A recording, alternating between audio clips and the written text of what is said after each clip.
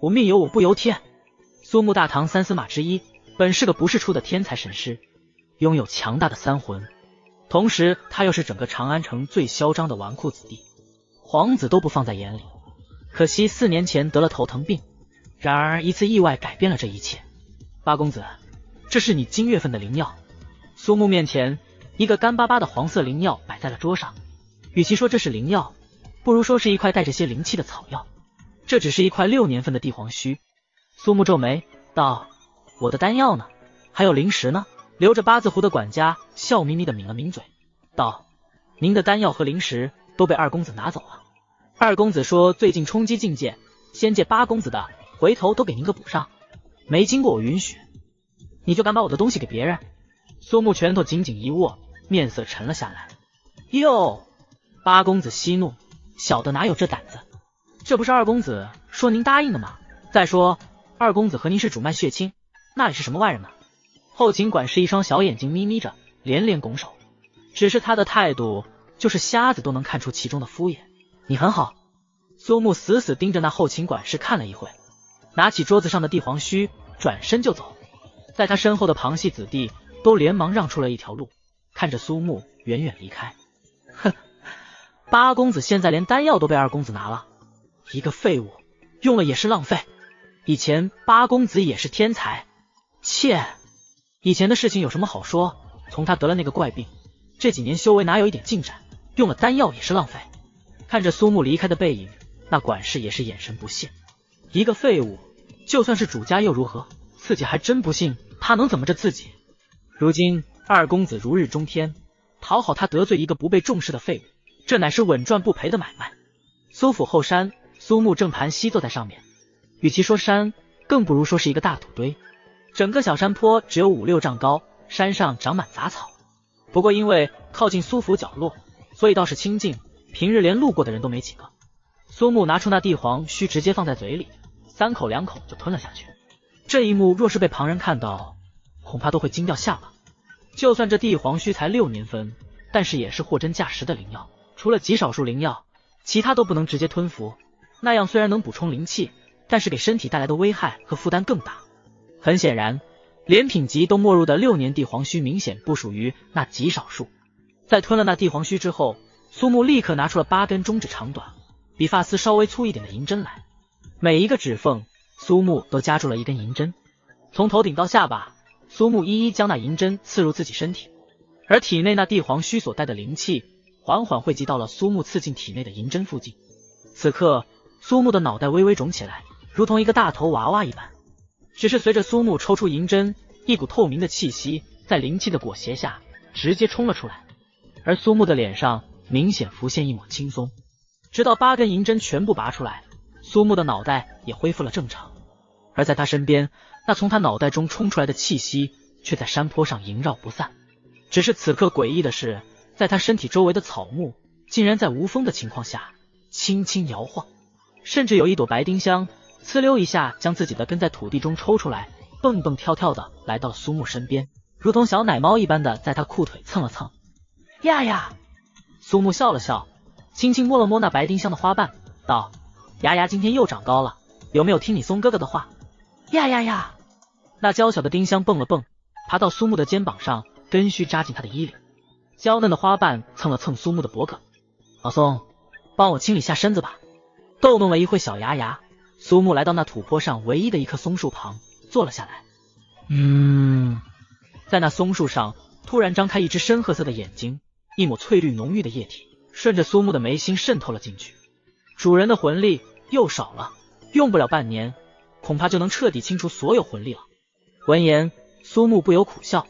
此刻，随着他疗伤结束，整个山坡上的草木都活泼了起来，一朵朵野花杂草竟然如同动物一般在山坡上奔跑，淡淡的荧光在它们身上飘散，如同顽皮的精灵。这都是因为苏木。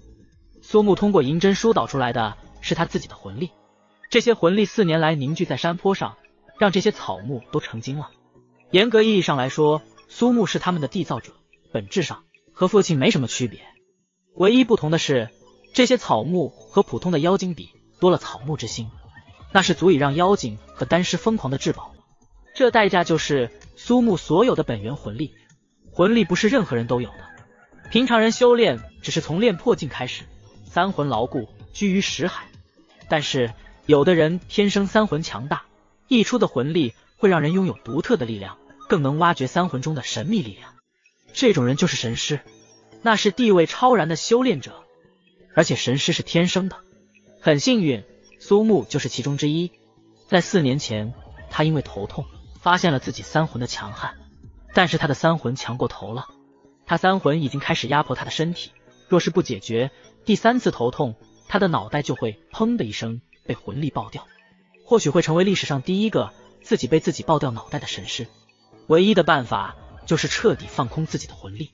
在这期间，自己不仅无法修炼，还无法动用灵力。所幸自己父亲就是一名药师，找到了驱除魂力的办法。只是四年前他却莫名的失踪了，还好他留下了一本药经，让自己也找到了办法。但是魂力散尽，结果。就是自己神师的天赋彻底消散。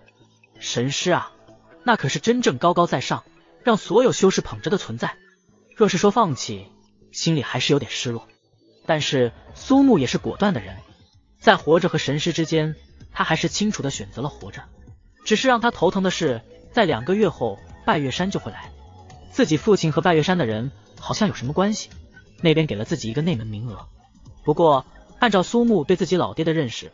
多半是拜月山的大人物被自己父亲给治好了什么疑难杂症，自己那个不靠谱的老爹，放着顶尖的修行天赋不修行，偏偏迷上了不入流的药师。当初差点气的爷爷和他断绝关系，只是到时候自己灵力还不能动用的话，会不会有什么问题？就算是看自己父亲的面子，作为大唐三大派的第一宗门，拜月山恐怕也不会收一个不能动用灵力的废人作为内门弟子吧。而就在这时候，旁边的松树突然道。主人，天上好像有什么东西。嗯，苏木一愣，他抬头，在极其遥远的天边，一团火红的云彩出现在了高空之中。这流星、灵术、神通，苏木脑海中才浮现出一个个疑问，就猛然脸色大变。不好，那东西竟然冲着这里来了！明明距离这里极远，但是近乎瞬间就临近。苏木看到一个透明的人影。他的眉心长着一个灿金色的树眼，正是那个眼睛将他的身体包裹，抵挡着一股绯红的火焰。而那个火焰的来源，就是那影子背后的一柄剑矢。主人，呀呀！眼看那剑矢临近，那松树猛然一拔，整个挡在了苏木身前。肩膀上娇小的白丁香也直接爬到了苏木的脸上，朝着前面张开自己不过指肚大小的花瓣。轰！不，随着一声巨响。苏木看到身前的松树瞬间变成了一抹焦炭，绯红的火焰遮蔽了他所有视线。他一把揪下小牙牙，死死捂在怀里。下一瞬间，一根灼热绯红的剑矢带着让人魂魄战栗的气息刺进了苏木心口。痛？不痛。此刻，苏木并没有被利器贯穿的剧痛，但是他仿佛感觉自己身处于一片烈焰之中，在自己体内有一股无法言喻的恐怖在汹涌。仿佛自己每一滴血液都化为了烈火，那不是痛，而是极度的干涸。他感觉自己像一条河，在灼烈的阳光下慢慢干裂。就在苏木感觉自己要死的时候，在自己眉心突然涌现出一股清凉，而随着这股清凉，自己那庞大的魂力突然拼命的消散了起来。那是一股金色的魂力。苏木看到那灿金色的魂力带着一股浑厚的力量，将他的所有魂力排列成繁杂晦涩的皱纹。拼命的和自己心脏处的灼热抗衡，但是自己心脏却变成了诡异的血红，在心脏上更是生长出了两根古怪的肉角。随着心脏的每一次跳动，苏木都能感受到一股庞大的灵气涌入血液，化为难以言喻的灼热，疯狂的撕扯那灿金色的皱纹。随着每一次心脏的跳动，苏木都能感到自己血管经脉更加脆弱，心脏涌出的灵气太恐怖了，自己根本不能抵抗，用不了几次。恐怕自己的经脉血管就会直接爆掉，而那金色的魂力根本抵抗不了。苏木不由苦笑，恐怕魂力消失的时候就是自己死期吧。感谢各位老铁观看、点赞、评论，下集更精彩。被泛着金色光晕的剑矢击中，不曾想因祸得福，身体和力量都得到了提升。丫丫和老松也人性化。就在刚刚，苏木眼看着魂力就要溃败，突然一股清凉干裂的味道涌入自己体内。苏木心头一动，这个气息他太熟悉了，是草木之心。这四年来，他生吞灵药，靠的就是草木之心排出体内杂质。一抹翠绿之色出现在了苏木体内，在他的额头眉心，那原本散发出金色魂力的光团微微一颤，翠绿的草木灵气被他全部吸收。下一刻。那金色之中竟然睁开了一条缝隙，一根如同实体般的金线在那裂缝中流淌了出来。那金线吸收了草木之心，在灼热的灵血中逆流而上，直接刺入了苏木心脏。那金线在草木之心的滋润下，仿佛爆发出了巨大的活力，如同一张巨网，化为无穷金色皱纹，将苏木的心脏笼罩了起来。随着心脏被封印，那在苏木心房上生长出的肉角也缓缓消失。一股难以言喻的舒爽和清凉猛然在苏木的身上涌现，那是他前所未有的轻松，如身处云端，展翅欲飞。苏木眼睛微微一动，耳边就是一个熟悉的声音：“醒了，醒了，呀呀！”身体的控制恢复了，苏木感觉有人抱着自己，软软的，很舒服。苏木缓缓张开眼睛，看到的是一个人。苏木感觉自己可能是眼花了，自己面前站着一个人。只是这个人全身穿着黑衣服也就罢了，为啥还戴着黑面罩？只是下一刻，自己面前的这张漆黑的脸咧嘴一笑，道：“主人。”苏木眨了眨眼，试探道：“老松，呀呀！”突然，一个白嫩的小手在苏木的脸上摸了摸，一张瓷娃娃一般、带着点婴儿肥的小脸蛋出现在了苏木面前。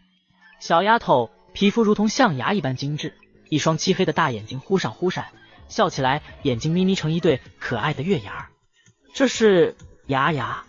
苏木坐起身子，看着自己面前的两个人，不由愣了愣。一个浑身漆黑的光头男子，一个瓷娃娃般的三四岁女童。苏木眼中还带着一丝茫然，道：“这是什么情况？”面前的黑光头也是挠了挠头，道：“我也不清楚。那之前的射过来的箭矢上，除了火灵气，还带有一种古怪的魂力，本源魂力。”本源魂力，苏木眉头一皱，什么是本源魂力？苏木之前散发的就是，那是不可恢复的。苏木若不是为了活命，绝对不会那样做，那会给三魂带来永久性的损伤。老松点了点头，道：“嗯，没错。按照主人给我们散发的频率来看，我们想要化形，至少还要吸收十年。但是那个剑矢上所带有的本源魂力，直接就促使了我和牙牙化形了。”苏木点了点头，道：“其他的木灵呢？”老松张开口，他的嘴巴猛然裂开到嘴角，道：“在我肚子里。”苏木看着自己面前的人，嘴巴直接裂到耳根，下巴垂到胸口，喉咙里散发着幽绿色的光，不由道：“好的，我知道了。不过以后不要这样，有问题吗？”老松嘴巴发出咔嚓声，慢慢合拢。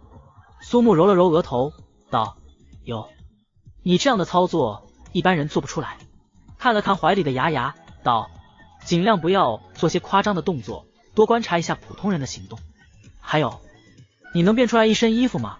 我不太适应一个男人在我面前裸着。就算你黑的看不出来。”老松琢磨着苏木的意思，挥手间变出来一身草绿色的长袍。苏木张了张口，还是没说什么。毕竟老松刚化成人形，还没有什么审美。只是一个浑身皮肤焦黑的人，穿着一身翠绿。着实辣眼睛，你的皮肤是什么情况？老松闻言摆了摆手道：“烧焦了。不过我能感觉出来，有这一层黑皮在，我可能不会怕火了。”哦，苏木眼神一闪，道：“什么意思？就是被烧了之后，我突然对火灵气有很大的亲和力。”说着，老松伸出手，天地间灵气涌动，噗呲一声，一抹橙红色的火焰就在他手中涌出。这。哪怕是苏木也禁不住瞪大了眼睛。所有草木精灵最怕的就是火，这天底下还从没听说过有能控火的木灵。你确定就是这里？绝对的。六公子，刚才那抹带着灵气的火光，就是在这边土坡上。哎，好浓郁的火灵气，难道真的是有什么宝贝？突然一阵谈话声传来，苏木眉头一皱。转头就看到三个人朝着土坡上走了上来。嗯，只是随着那三人上来，苏木眼神有些古怪，这三个家伙怎么变矮了？来的人是自己五姑的儿子柳湖和两个旁系子弟，只是原本身高和自己应该差不多的柳湖，此刻看起来不过才到自己腰间的位置。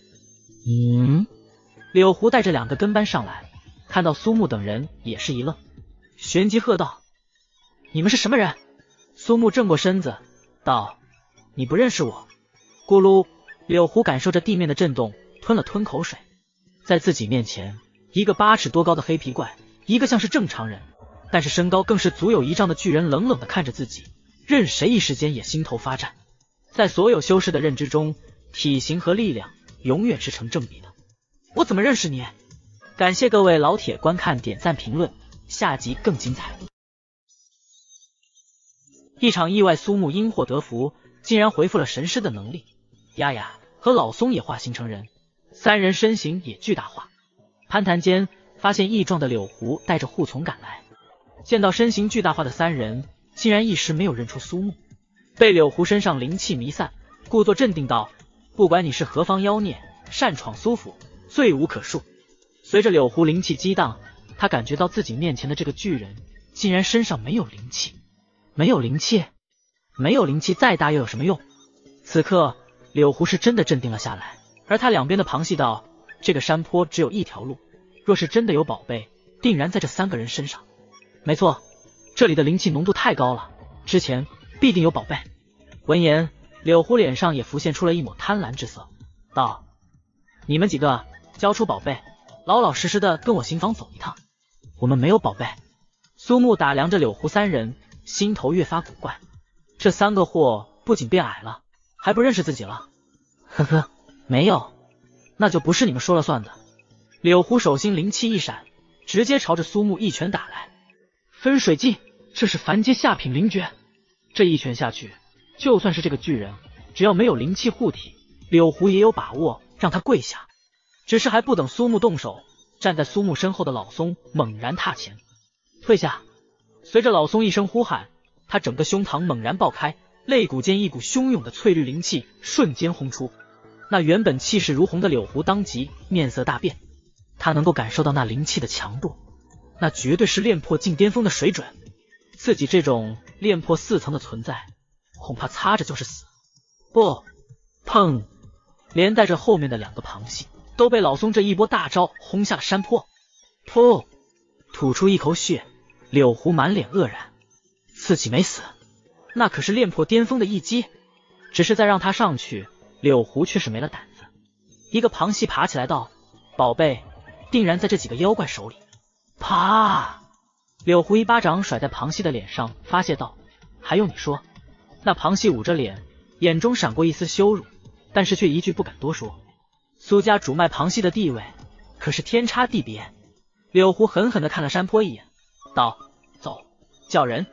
敢闯苏府的妖怪，还从来没有胡人出去过的。”山坡上，看着柳湖带着两个螃蟹连滚带爬的离开，苏木知道。这回恐怕是惹上麻烦事了。苏木不由揉了揉脑袋，道：“老松，商量个事，主人有何吩咐？”看着老松胸腔裂开，肋骨暴露在外，苏木不由道：“以后打架不要动不动就开膛破肚的好吗？”好吧。老松不情不愿的闭上胸腔，退了回来。他没有化为人形之前，唯一的灵力攻击手段就是裂开主干，喷涌灵气。就算是化为人形，一时间习惯也改不掉。而苏木此刻却是打量着比自己矮了小半个身子的老松道：“多高？按照人类的计量，应该是八尺。”果然，苏木不由嘴角抽了抽，一尺三十厘米。老松八尺还比自己矮那么多，那自己身高至少一丈。不是柳湖他们矮了，是自己变成巨人了。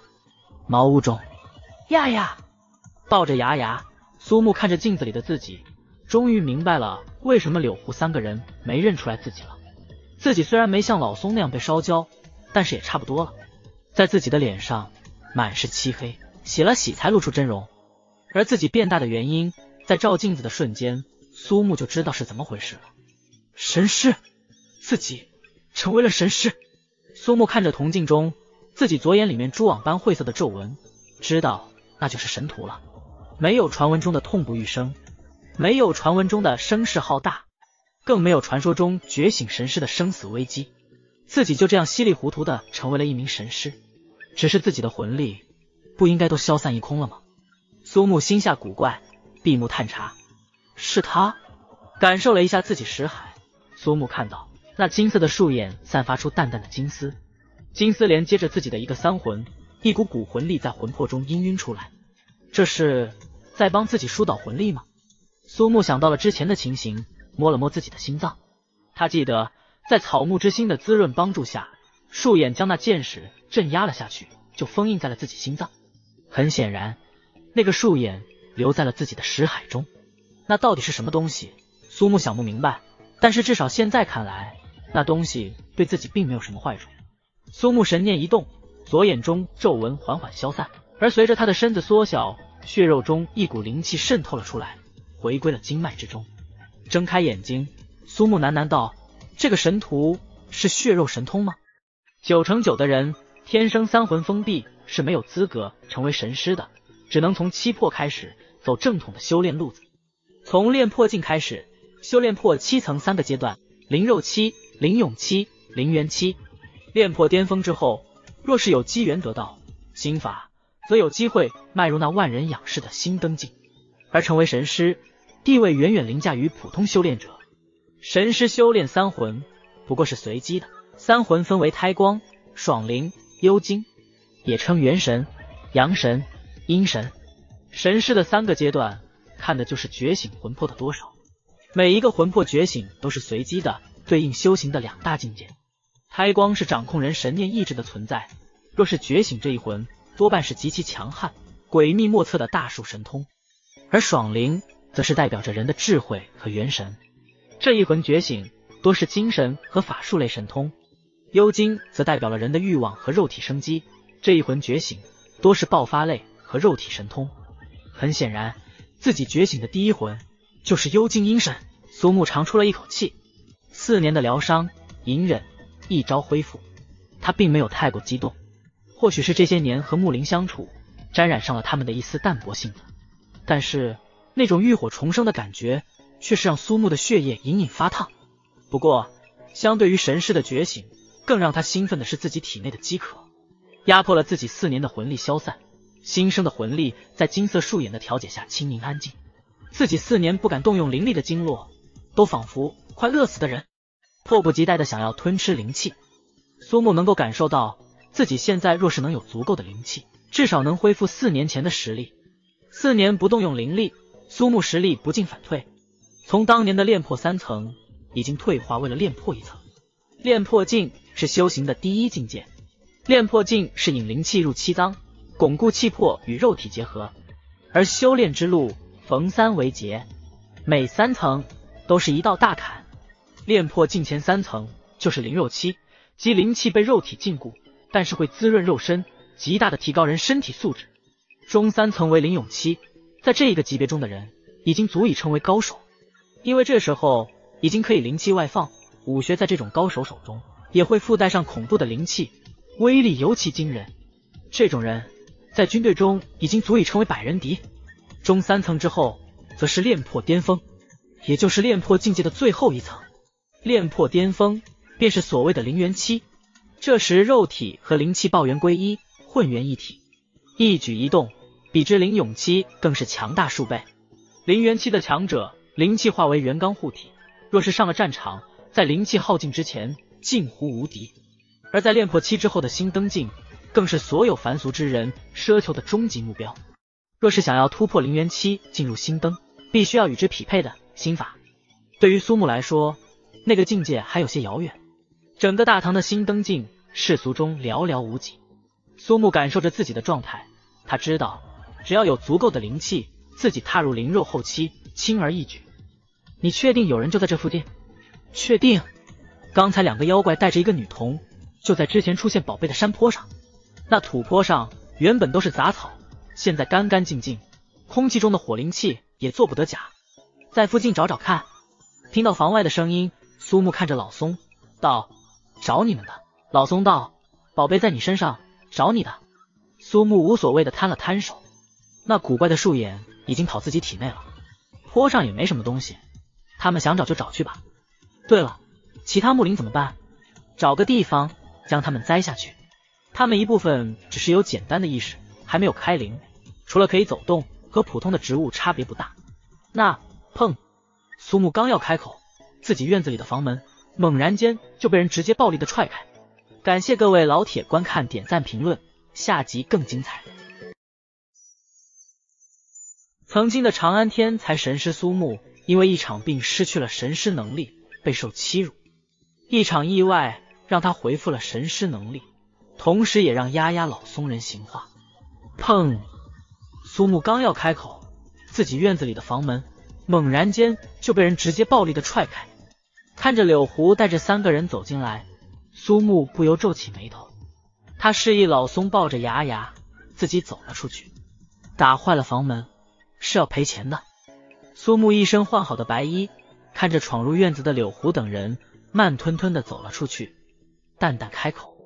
柳湖闻言，打量了他一眼，讽刺道：“哟，咱们苏府的大天才怎么住这个地方？”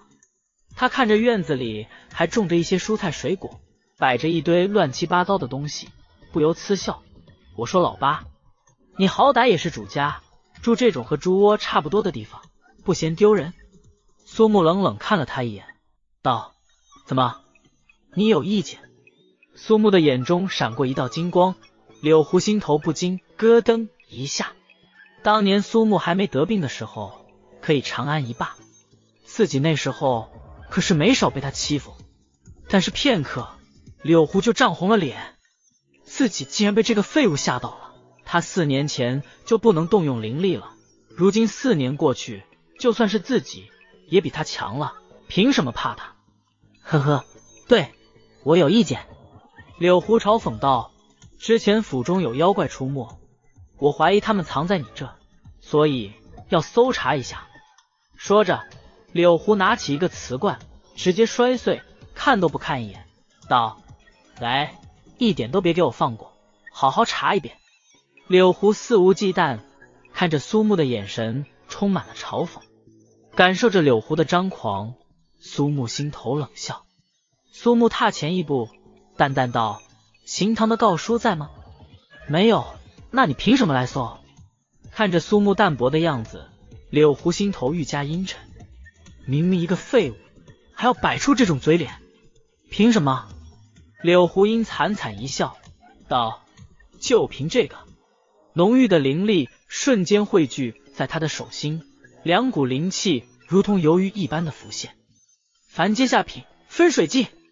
只是让他失望的是，在苏木脸上，他完全没有看出任何惊恐和害怕。苏木恍若未闻，道：“在我的地方主动挑事，按照规矩，我打残了你，也没人追究。”打残？柳湖先是一愣，旋即哈哈哈大笑道：“就凭你！”哈哈，八公子，你莫不是得了失心疯？八公子，我看您还是道歉吧，跪下给六公子好好说道说道。都是亲兄弟，怎么也能饶了您呢？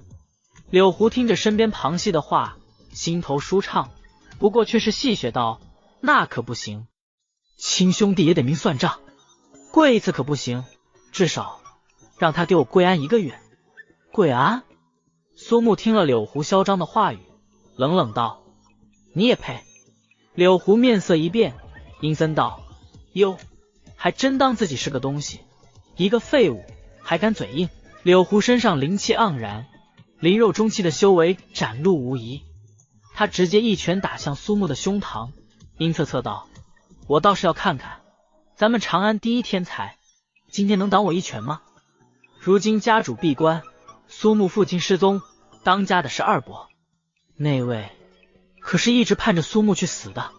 此刻，苏木面无表情，他瞥了一眼那在柳湖身后看戏一般的三个旁系，直接一拳迎了上去。来得好！柳湖大喝一声。谁不知道，如今的苏木是个修为停滞的废物。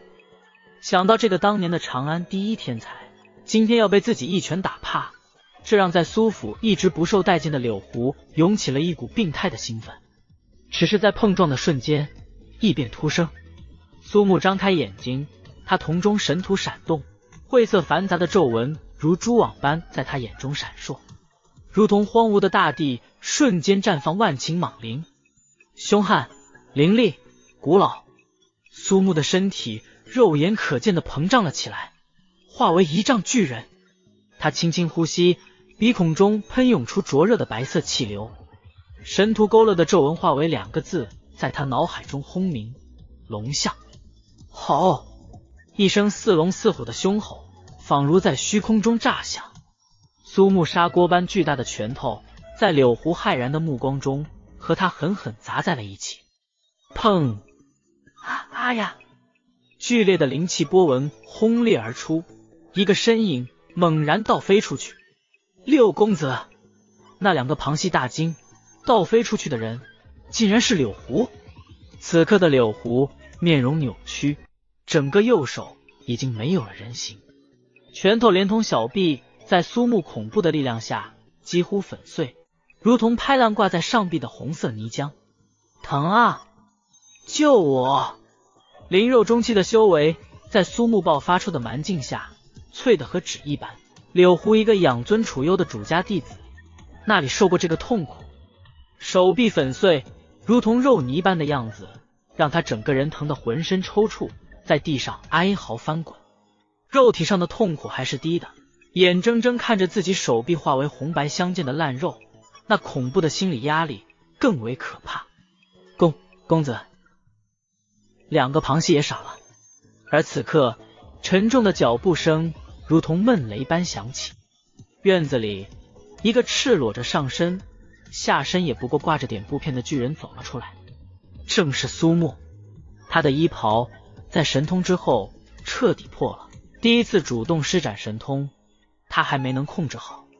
看着呼吸间喷出白色气流，巨人般的苏木，柳湖彻底傻了。你。之前土坡上就是你，苏木道，正是。感谢各位老铁观看、点赞、评论，下集更精彩。胡柳来到苏木住处界寻找灵物，把刚才在后山的火发在苏木身上，不想这次踢到铁板上了。回复神师力量的苏木硬刚了胡柳一击，不想胡柳的胳膊就废了。这时住手！一直站在旁边的第三个旁系子弟大步走上来，他是被柳胡叫来镇场子的。若是有什么变故，他会立刻捏碎传音玉牌，叫他的大哥过来。哪怕苏木是主家，他的声音却也是带着一抹轻蔑道：“放开七公子，全当给我个面子。”你，苏木淡淡道：“你是旁系吧？你没这面子。”你听到苏木赤裸裸的羞辱。那男子面色一变，冷冷道：“我是苏浩，我哥哥苏莽。八公子，当真不给面子？”咔，嗯嗯嗯。苏木伸手，巨大的手掌铁钳一般扣上了苏浩的脖子，将他直接拎起来。我不过四年没怎么走动，苏府的旁系都敢这么给主家说话了。浩哥，看到苏木提起苏浩，那两个旁系。甚至比看到柳湖被打残更紧张。呵呵，那苏浩竟然丝毫不紧张。他死死掰开着苏木的手，摸着腰间的玉牌，狠狠道：“给你三个呼吸，不放下小爷我，就等着给自己收尸吧。”苏木眉头挑了挑，现在旁系都这么狂吗？而苏浩冷笑：“苏木这中他见多了，尤其是柳湖、柳青这两兄弟，都是主家。”被自己威胁都要老老实实的，谁让自己大哥是天才，哪怕是旁系也有傲气的资本。他不信苏木这个落魄的主家子弟真的敢动自己。三二一，咔嚓一声脆响，苏木已经将那他的脖子捏断了，毫不拖泥带水。到死，苏浩的眼睛还死死的瞪出眼眶。他的手还摸在玉牌之上，但是完全没有反应过来捏碎。他完全想不到自己竟然会死，竟然有人敢杀自己！不，旁边的两个人旁系面色大变，如同死的是自己亲哥一样，面色惨白，毫无血色。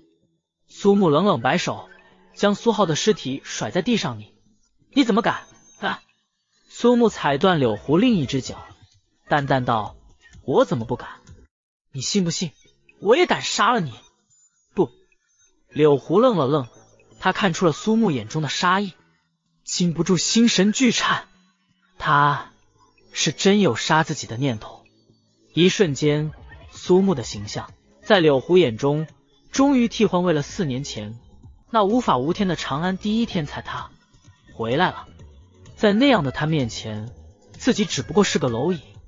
柳湖一把抱住苏木的大腿，涕泗横流道：“我是你表哥呀，我娘是你亲姑姑啊，你不能杀我，不能！对外公不会允许的。”柳湖面露惊恐。但是眼中却是带一丝阴毒。但是看了苏浩的尸体，他眼中的惶恐之色更盛。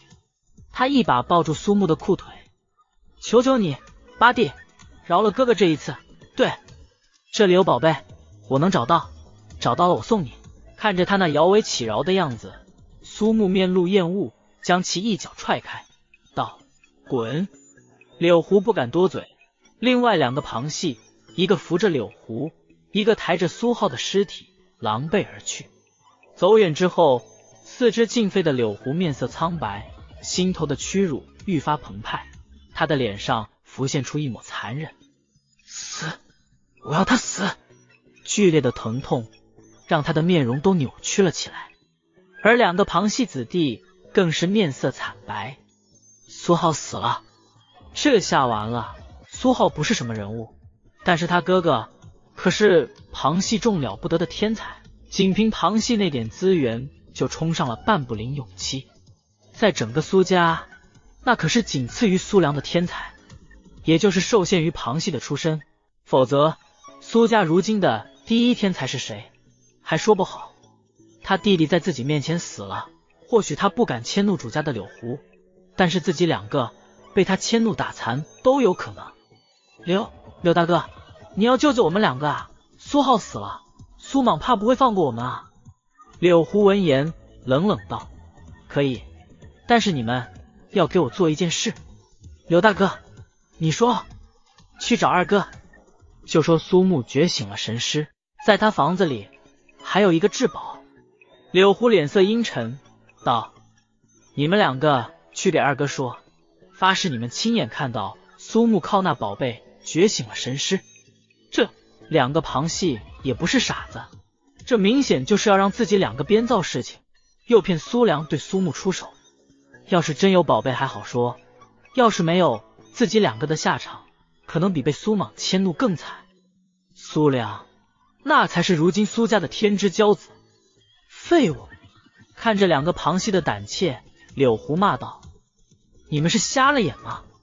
刚才苏木施展神通的样子。”不就是之前在土坡上看到的巨人吗？之前他脸上都是黑灰，加上身子变大，没认出来。在他身边还有一个黑皮光头和一个女童，都从来没在苏府见过，其中绝对有问题。无论如何，二公子知道苏沐橙为了神师，一定会找上门去。可是看到两个旁系还想推脱，柳湖眼神冰冷，淡淡道。我也不勉强你们两个，不做的话，我会告诉苏莽，是你们两个害死了苏浩。不，我们马上就去。府别院书房，苏良坐在桌子上，看着两个退下的旁系，一言不发。在他旁边，一个身穿黄色劲装的男子开口道：“公子怎么看？”苏良一身紫袍，用玉线刺绣着两爪的白龙，他一对柳眉狭长。双眼如刀锋般凌厉，瞳孔黑白分明，高挺的鼻梁下，单薄的嘴唇让他看起来有些阴郁。这两个东西没胆子骗我。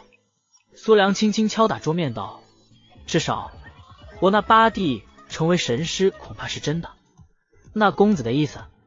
苏良看向门外，淡淡道：“拜月山还有多久过来？”两个月。苏良沉默。拜月山内门名额是苏木父亲留下的，他废了，这个名额可以是苏家的。但是他若是能够修炼，名义上这个名额还是属于他的。拜月山，那可是大唐最顶尖的宗门，哪怕是今年秋天会有三大派选拔弟子，入门的也只是记名弟子，展现出天赋才能成为外门弟子。外门弟子不断的做任务，累计功劳，才能兑换身份为正式弟子。而内门弟子更是在正式弟子之上，一个天赋中上的人，至少也要五六年才能成为正式弟子。内门子弟那更是遥遥无期，哪怕是对于苏家这种在世俗达到巅峰的三公望族，一个拜月山内门名额也绝对是一步登天。须知。苏家能百年不衰，四世三公，靠的就是残酷的主旁制度。家族分主家旁系，旁系在主家眼里，仅仅是比下人更好一点罢了。若是进入拜月山内门，自己父亲成为下一任家主，自己一脉成为主家，几乎就是铁板上钉钉子了。苏良目光清冷，手指轻轻敲打着桌子，道：“金叔现在去柴房呢，帮我把八弟请过来吧。”多带几个人，别让闲人看到。是，感谢各位老铁观看、点赞、评论，下集更精彩。打残上门闹事的胡柳，打死咄咄逼人的旁系苏浩，回到屋内，这是什么情况？苏木自己现在的实力，因为多年未修炼，已经退步到了炼破一层，也就是灵肉前期。而点燃神图、施展神通之后，灵肉中期的柳湖在自己手上。根本不堪一击。很显然，自己的魂力要比自己现在的灵力强得多，而神师的境界，自己却是两眼一抹黑，完全不知所以。必须尽快出门去神阁一趟了。神阁才是了解神师的专业地点，那是全部由神师组成的组织，任何新晋神师都会得到最大程度的帮助。张开眼睛，牙牙圆嘟嘟的小脸蛋就趴在自己面前。苏木轻轻一笑。禁不住揉了揉，呀呀，牙牙享受的闭上眼睛，蹭到苏木怀里。对了，老宋，你现在什么境界？老松思索了一下，道：“应该是炼破巅峰。”哦，苏木眉头一挑，老松的境界有点出乎苏木预料。主要是我被烧焦的时候，那剑矢上的灵气渗入了我的体内。不过我现在灵力很弱，还在融合。融合？嗯。老松点了点头，道：“我现在身体里的木灵气和火灵气在融合，在他们融合之前，我恐怕没有什么战斗力。之前那个炼破二层的小子，我全力一击，也只是将他吹飞，基本没什么伤势。若是融合结束，我全力一击，能让他直接蒸发。火和木结合。”苏木脸上不禁浮现出一丝好奇之色。原本相克的两个属性竟然融合，苏木还从未听说过这种事情。而且，仅仅是烧焦产生的灵气，就让老松直接飙升到炼破巅峰的灵元期。这件事到底是有多海量的灵气？苏木可是知道，在突破灵肉期，进入灵勇之后，需要的灵气立刻就是灵肉期的数倍。更何况炼破巅峰的灵元期要几天？三天。苏木摸了摸下巴，道：“需要我做什么？可以的话，主人最好给我找几份火属性功法，我对他们并不熟悉。”苏木点头，他突然想到自己也已经有好几年没去灵觉塔了，不由站起身道：“正好，我也过去看看，晚上给你带过来。”好。苏木揉了揉牙牙的小脑袋，让老松看好他，便转身出去了。牙牙，牙牙冲着苏木挥了挥手，他的耳朵尖儿还是花瓣的形状，星星点点的翠绿，间断的在空气中飘散，看起来如同娇嫩的花间精灵，无比惹人怜爱。苏木离开院子，先朝着后勤管事那里走去。苏府内的灵觉塔是需要时间的，旁系每年可以借阅两本，在灵觉塔停留七天；主家每年可以借阅五十本，在灵觉塔停留一百天。这就是主家和旁系的差距，无论生活还是修炼，都是天差地别。而灵觉塔还是整个苏府最佳的修炼圣地，在灵觉塔里有一面观灵台。那是苏家历代高手修炼灵觉大成后才有资格留下的印记，能给修行灵诀的人带来极大的感悟。而且，为了让关灵印长久保存，那里更是花费重金设计了聚灵阵。虽然灵气主要为了保护关灵印，但是在其中修炼灵气也比外界丰富五成。后勤大院就在东边，每天都少不了人排队。一路上人不少人认出了苏木来，但是也没人故意犯贱招惹。苏木虽然落魄，但是只要苏木爷爷还是家主，他就是主家的人，主家也不用排队。苏木直接大步走到了柜子前面。你那后勤管事一眼就看到了苏木，他嗤笑着摆了摆手道：“才领了这个月的灵药，八公子还来干嘛？”苏木倚在座子上，仿佛没看到管事眼中的不屑，淡淡道：“给我拿灵觉塔的时间牌。”闻言，那管事似笑非笑道：“哟，原来八公子是要修炼呢。”我给公子看看。说着，那管事抽出一个竹简，胡乱翻了翻，：“哎呦，可真不巧，八公子，您的时间被二公子拿去赏赐下人了。”后勤管事脸上带着一抹不屑，讥讽道：“咱们苏府的修炼时间可是金贵的很呢，二公子拿去，其实比给您个更合适，你说对吧？赏赐给旁系，孬好还能有点动静，总比放在公子手里发霉好吧？”闻言。周围的旁系发出阵阵哄笑。这个世界终究是实力为尊，一个废物就算是主家也不可能被重视。而且一旦苏良父亲继承家主，其他的主家，包括苏木，立刻就会沦为旁系。苏木看着后勤管事笑眯眯的嘴脸，心头冷笑，这个家伙恐怕已经是二伯的人了。苏木笑了，他点了点头，走上来对那后勤管事道：“管事说的有道理。”那管事听着苏木的话，眼中轻蔑毫不遮掩，却还故作礼态，似笑非笑道：“哪里哪里，咱还是按照规矩做事，还是八公子宽宏大量，为苏家供。”砰！一声闷响，所有在旁边哄笑的旁系都呆滞了。在前面，原本看起来服软的苏木，竟然一把扯过那管事的头发，将他的脑袋砸在了桌子上。感谢各位老铁观看、点赞、评论，下集更精彩。恢复神识能力的苏木决定去灵觉塔给老松寻找合适的功法，不想来到灵觉塔，竟再次被后勤管事刁难欺辱。这次苏木也没惯着他，砰！一声闷响，所有在旁边哄笑的旁系都呆滞了。在前面，原本看起来服软的苏木，竟然一把扯过那管事的头发，将他的脑袋砸在了桌子上。你，管事整个鼻子都塌了下去，满脸是血。你找死！一个后勤管事，若真是一点实力都没有，也镇不住场子。此刻，一股林永进的气息在那管事的身上猛然迸发。好强！刘管事竟然有这个实力，这是灵友，而且是前期巅峰。在一群主流灵肉前中期的旁系眼中，此刻的刘管事强的恐怖。小子，袭击后勤管事，我有理由认为你图谋不轨。还是跟我行堂走一趟吧。刘管事面色发冷，他看着苏木淡淡道，手中是渐渐涌动的灵诀。哦，是吗？只是苏木却仿佛不在意，而是继续伸出手，朝着刘管事的脑袋抓去。找死！看出苏木意图的刘管事眼神一狠，直接一掌拍向了苏木的胸膛。同样的手段，还想搞自己两遍？当自己眼瞎吗？他早就投靠了苏良的父亲苏子若。别说是攻击苏木，只要别杀了他，让他重伤都没事。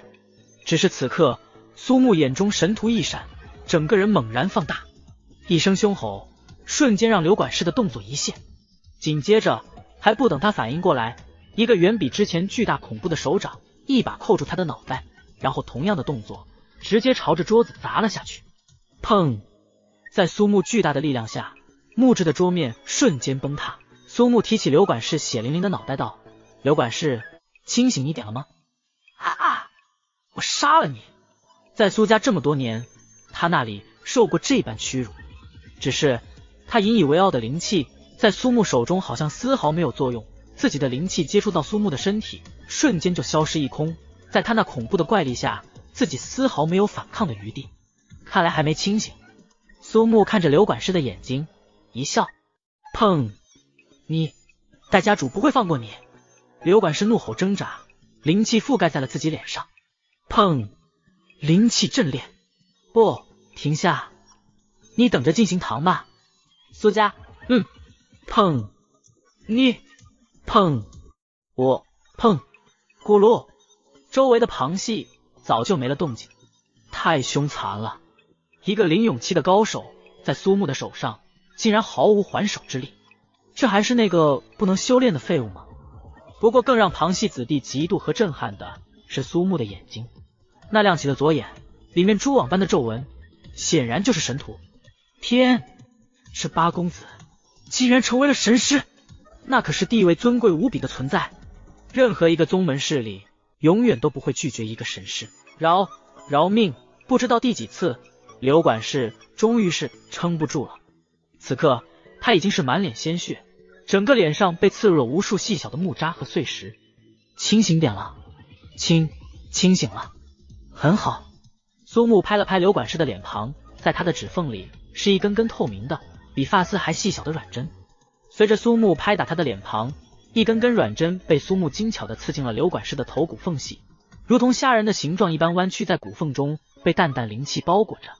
苏木站起来道：“苏良的灵觉塔还有多少时间？”啊！苏木眼睛一眯，道：“说。”刘管事颤巍巍的翻了翻，道：“还有二百零七天。”呵呵。苏木冷笑，自己的二哥还真是不手软，这么个数，恐怕不仅仅是自己，不少旁系的时间都被他搜刮了吧？全转给我！啊！刘管事一愣，怎么，他能借，我不能？看着苏木阴森的眼神，刘管事一颤，连连道：“能？他还能借阅多少书？七十二本。也转过来，拿着手中洁白的玉牌，看着其中夸张的时间。”苏木满意的点了点头，道：“还有，苏良有多少灵石灵药？”闻言，刘管事苦笑道：“八少爷，那种东西哪能剩下？”苏木一想也是，淡淡道：“那好吧，不过这四年。”你克扣的灵石灵药，我给你七天，七天你拿不出来，就拿你脑袋偿了吧。这刘管事嘴角一抽，苏良拿走的怎么算到自己头上来了？自己的刁难折辱，可都是苏良的老爹授意，而克扣的灵石，自己都一分不少的交给了二公子苏良。但是看着苏木的样子，刘管事还是颤巍巍的点了点头，而苏木更是直接砸了后面的储物柜，将里面的灵药丹药一扫而空。这些事还没发下去，每个月开始三天发放资源，今天是最后一天，灵药和丹药已经所剩无几了。但是现在的苏木来说，蚊子再小也是肉扫荡干净，旁边的管事也不敢多嘴。苏木淡淡道：“记苏良账上。”接着揣着丹药扬长而去。管事看着苏木远去的背影，暗暗道：“还他四年的灵石灵药。”呸！什么东西？别说自己拿不出来，就算是有，也不可能给他。找二公子，自己就不信了。一个废物主家，就算是成了神师，还能翻天不成？走出院子，苏木眼中神图消散，慢慢成为了正常人的模样。这一次，他事先穿了宽大的白袍，并没有因为自己的神通而直接撑破。他看到了旁系大群的涌出了院子，知道那管事恐怕大发雷霆了。只是苏木冷笑，那家伙最好不要搞什么幺蛾的。自己可是在他的头骨内嵌入了蛇盘软针，只要稍稍刺激他的头部灵脉，就会瞬间激活，到时候软针瞬间绷直，恐怕头盖骨都能给他掀开。自己那不靠谱的老爹留下的那本药经，倒是有些厉害的地方。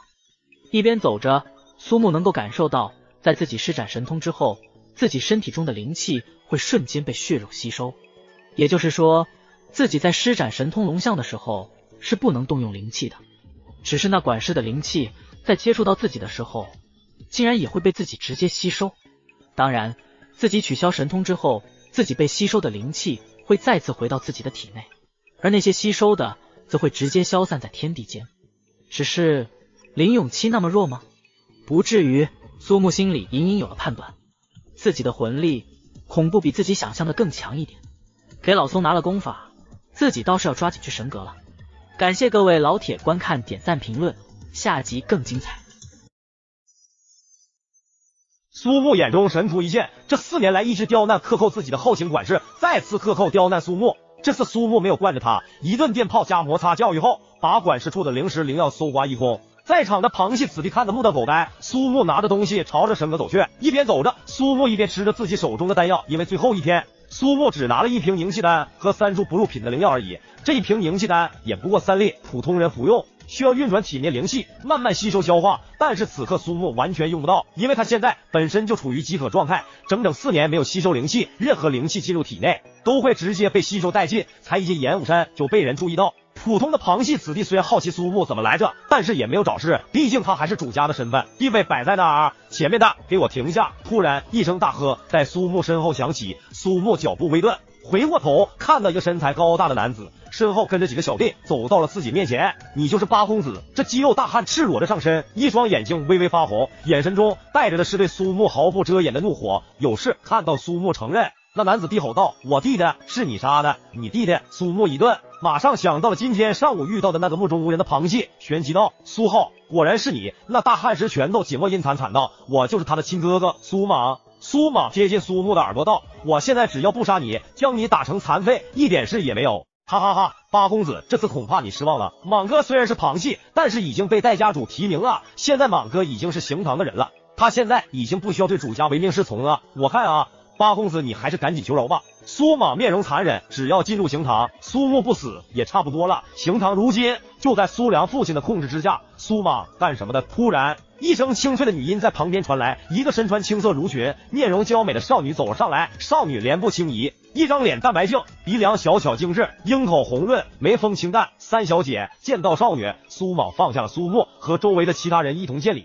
苏木眼神一动，面前的少女还有几分熟悉，是自己大伯的女儿苏嫣。你是苏木？苏嫣看到苏木，打量了他一下，看到他头上的碧玉鬼面簪，不由反应了过来。没错。闻言，苏木淡淡点了点头。他和苏音的关系并不好。当年自己父亲发第一次带着自己来京城治病的时候，他看中了自己母亲留下的鬼面碧玉簪，死活都让自己送他，自己不答应，他更是刁蛮的耍横，结果被当时的自己狠狠教训了一番。如今四年过去，自己停滞不前。此刻的苏音实力已经在自己之上了，你们是什么情况？听了苏音的话，苏莽眼中发红，抱拳道：“三小姐，这废物杀了我亲弟弟。”哦，苏音闻言多看了苏木一眼，他可是知道苏莽现在已经接近了灵永期，这还是旁系资源极少的情况下，若是有朝一日败入宗门，恐怕这苏莽即可就能一飞冲天。所以苏音也刻意和他交好，而苏木不过是一个废物罢了，而且自己当年可是被他羞辱过。想到这里，苏音眼中闪过一丝讽刺，他走上前来道：“都是自己人，何必动手？”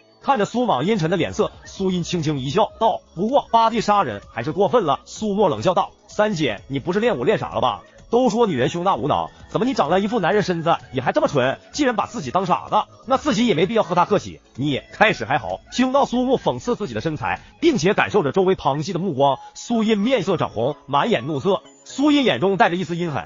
道：今天就是演舞台争名，我能进入前十，而你连演舞台都上不去，争名战前十。苏木嘲讽道：“我说三姐，你是真的不怕丢人啊？旁系谁敢挑战主家？主家这一代一共就九个人，你可不是前十吗？你苏音张了张口，感受着周围旁系的目光，羞愤异常。这个混蛋，四年不见嘴还是这么多。苏音说不出话来，狠狠跺了跺脚，道：把他弄进刑堂，我做主，找二哥给你一个月的灵觉塔时间。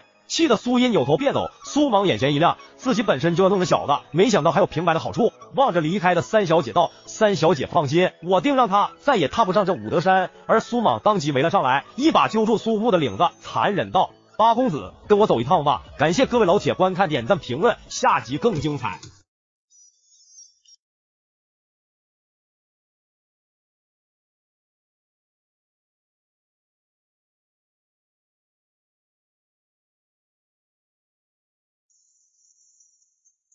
苏木直击要害的回怼了心机的三姐，三姐也恼羞成怒的放下话，让苏莽收拾苏木。听到这，苏莽气焰更成一把，抓住了苏木衣领。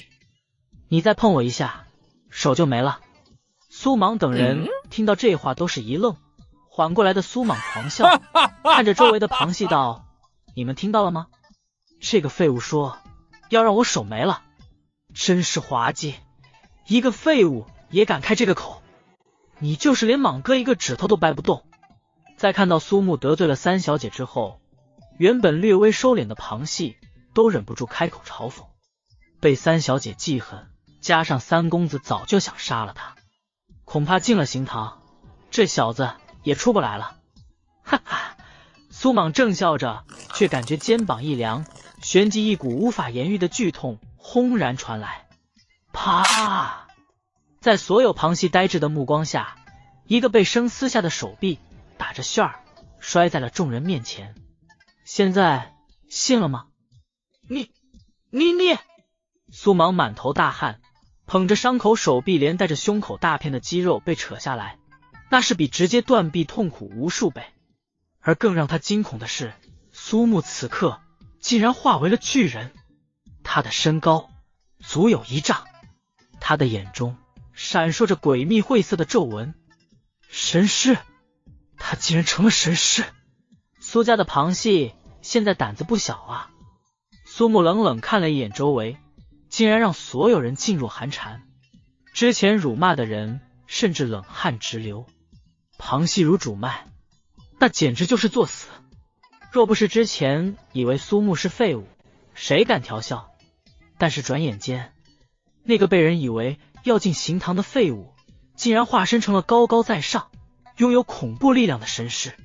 此刻看着苏木的爆发，周围的人仿佛看到了四年前那个无法无天的长安京都魔头又回来了。苏木扫视周围，所有旁系都低下了头。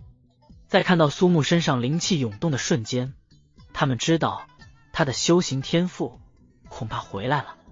而此刻看着苏木没有主意自己。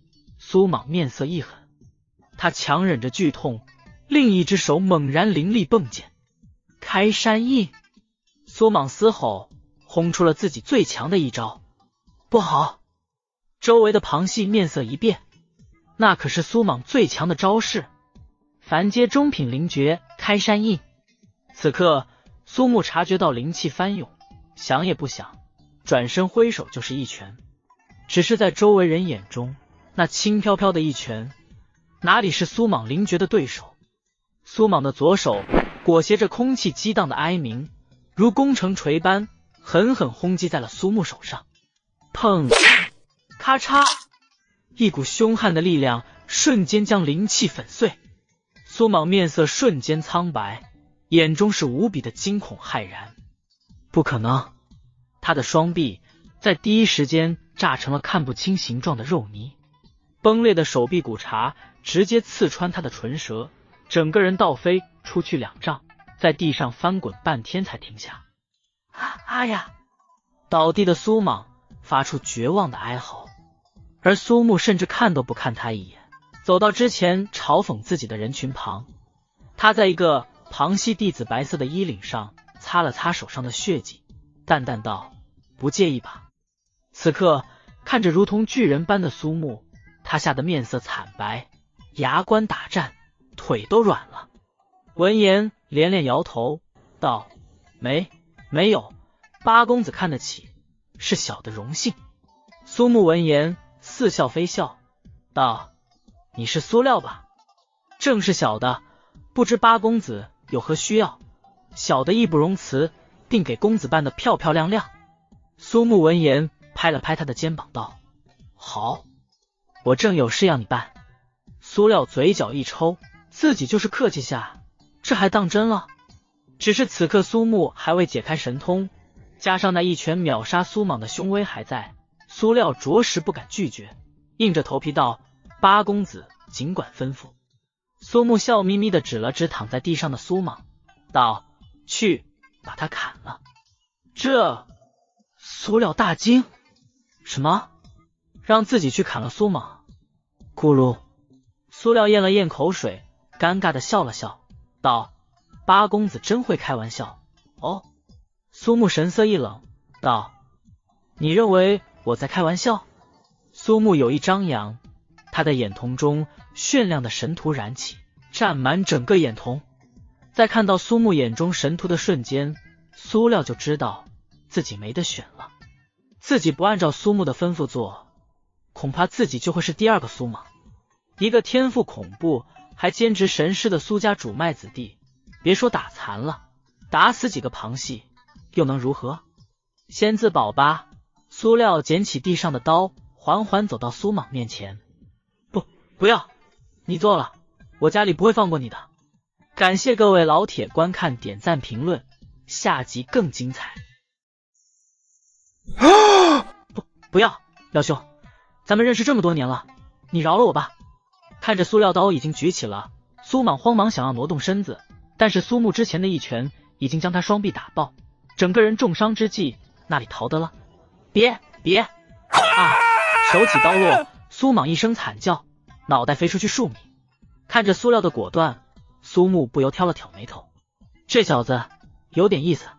此刻，苏料来到苏木面前，道：“公子交代的，小的做完了。”苏木打量着苏料，苏木拍了拍苏料肩膀，道：“干得不错。”这时的苏料提着的心终于放了下来，心想活下来了。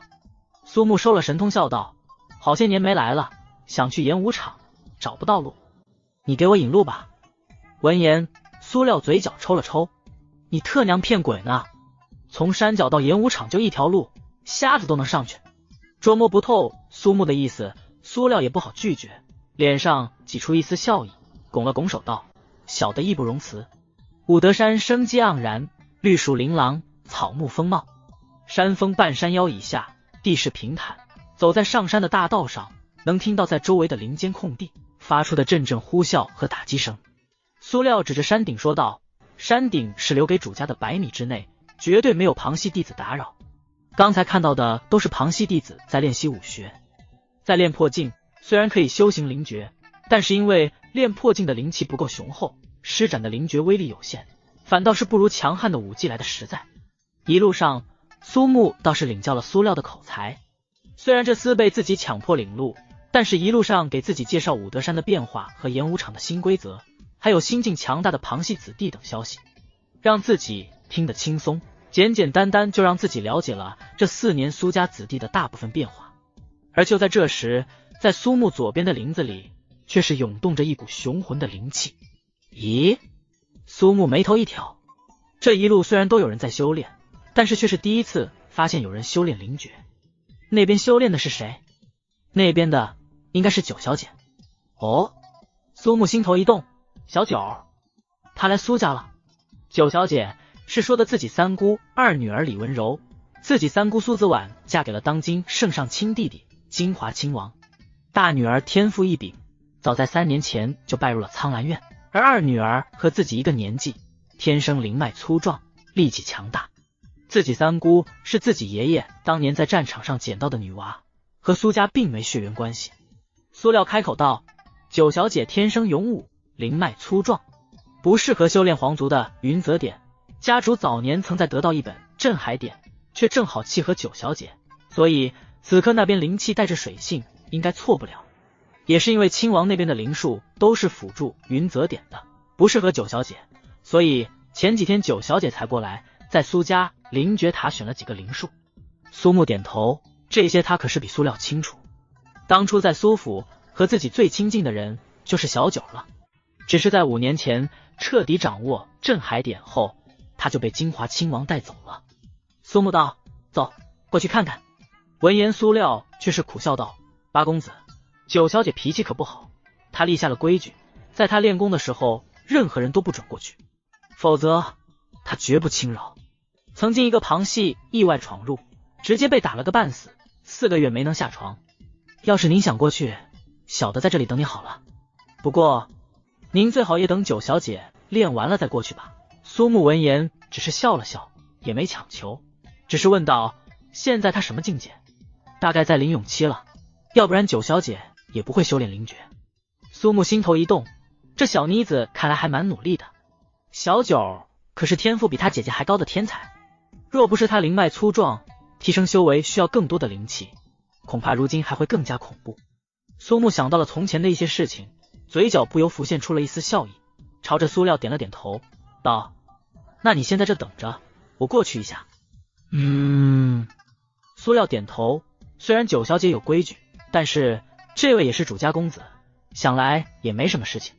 而苏木此刻直接就朝着那林子走去，越是靠近，苏木就越是清楚的感受到空气中逐渐浓重的水灵气。在穿过一片灌木，来到进入一片高大的林子后，更听到了施展灵术时产生的轰鸣。苏木的心头竟然略微出现了一丝激动。在李文柔回亲王府之后，两人应该有三年没见面了，不知道小九现在什么样了。苏木面带笑意，终于靠近了林间的空地。此刻，一个身材修长的少女身影正在林中闪烁，无尽的水汽随着她的身体起舞，化为一条模糊的蛟龙形状。随着李文柔的手指，而看到李文柔修炼的模样，苏木也终于明白了，为什么他会立下练功的时候不准任何人靠近的规矩。此刻的李文柔仅仅只穿了一件轻薄的白色纱衣，下身是梁国盛行的贴身长裤。那原本是因为梁国靠近草原，为了骑马设计的长裤，但是传开之后，广受练破境女修士的喜爱。因为练破境注重武技，修炼武技自然是需要各种腾转挪移。大唐传统的裤裙都不太方便，而此刻他修行水属性灵术，周身水气浓郁，全身都是湿漉漉的。原本就单薄的纱衣紧紧贴在身上，将那纤细腰肢和与年龄不相符的饱满胸脯勾勒得淋漓尽致。凉裤不够大腿，几乎将其两条笔直修长，仿如温软美玉般圆润的长腿彻底裸露。水珠滑落间，可以看到那比例夸张的双腿不带一丝赘肉。漆黑的长发束在背后一同被水汽打湿，整个人远远看去，仿如赤裸的出浴美人一般。而就在苏木犹豫的时候，李文柔却是突然像察觉到了什么，朝着苏木这个方向看了一眼，结果正和面带笑意的苏木对视。看到苏木面带笑容，李文若眼中带上一抹羞恼，道：“混蛋，自己已经公开立下了规矩，没想到还有人不当回事。”心中羞愤，李文柔修长的双腿一弹，朝着苏木交行。感谢各位老铁观看、点赞、评论。下集更。